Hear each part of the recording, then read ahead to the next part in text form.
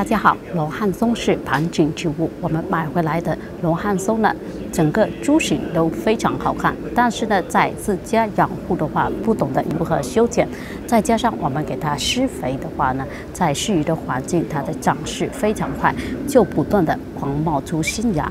那么新芽长得多了，枝干就没有长得那么粗壮，它就不断的狂冒新芽，这些新芽不断的往上生长，那么造成了整个株型不美观。观赏性就会大大的降低，甚至整个枝干也会变得瘦小，没有那么粗壮。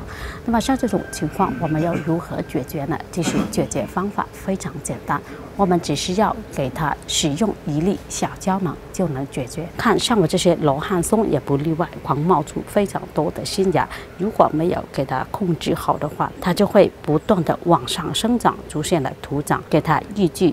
顶端优势使用的小胶囊呢，就是这种假排翁，用一粒兑水五百毫升，一年喷施三到四次就可以了。第二点呢，就是一定要给它充足的光照养护，才能让这个叶片进行更多的光合作用，回流到植株，让整个枝干长得更加粗壮，也可以抑制徒长。好了，我们下期再见。